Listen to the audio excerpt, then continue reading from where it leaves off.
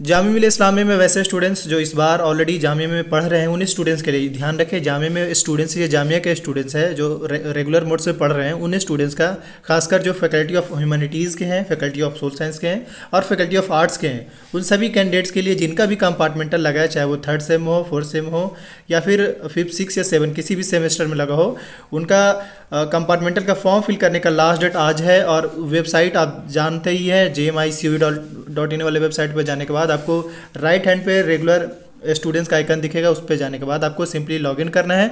और आपके आईडी जैसे ही अपने ईमेल आईडी पासवर्ड से लॉगिन करेंगे तो आपको कंपार्टमेंटल का आइकन दिखेगा। उसके बाद आपको वहाँ जाकर फिल कर देना है। जैसे जब फिल कर लेंगे, इसके बाद आपके हो सकता है कुछ दिन बाद आपके शेड्यूल आएँगे, उसके बाद आपके एग्ज़ाम्स होंगे। मोस्ट प्रोबेबली आपके एग्ज़ाम जो है ऑनलाइन ही हो और उसके बाद फिर सिंपली आप पास हो पाएँगे और आपका पेपर जो कंपार्टमेंटल लगा वो क्लियर हो पाएगा।